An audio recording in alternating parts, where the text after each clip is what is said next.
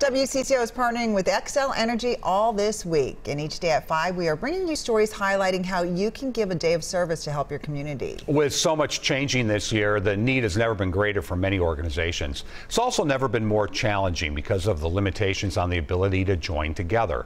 The Sanneh Foundation has joined together in a few ways by providing meals, tutoring, and sports for Minnesota families in need during the coronavirus.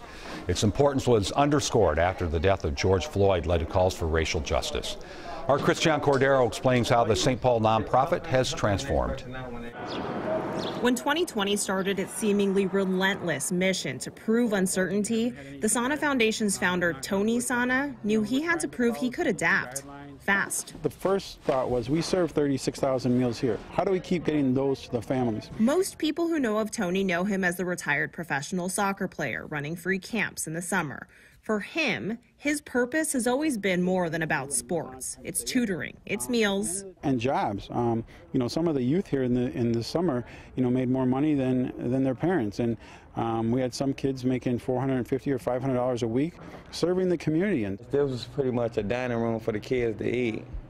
Now it's been transformed into a food shelf. That's Tino. He organizes food deliveries for families affected by COVID, sorting routes, running logistics.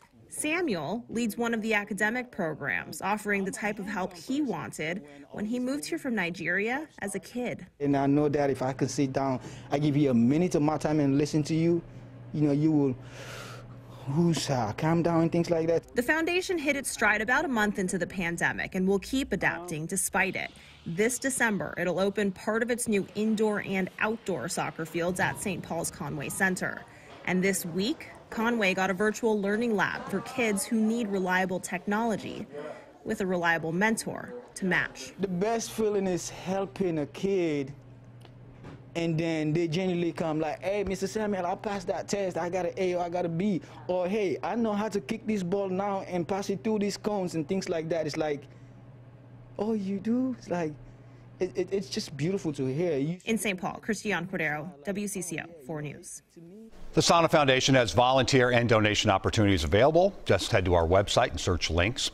Christiane serves as the co-chair for the nonprofit's Associate Board, which is a voluntary group of young professionals.